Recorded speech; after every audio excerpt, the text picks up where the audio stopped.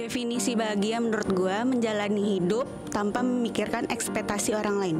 Definisi bahagia itu menurut gue menjadi diri sendiri. Karena menjadi diri sendiri itu bisa menghargai diri kita apa yang kita lakukan dan itu buat diri kita bahagia juga.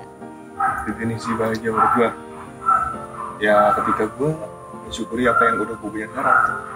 Terus ya bahagia itu pilihan sih lu sendiri yang nentuin mau bahagia mau sedih mau lara juga segala macam lalu gue simpel Ya, sih bahagia. itu ketika apa yang gue inginkan bisa tercapai Bahagia itu bukan kondisi, melainkan sikap.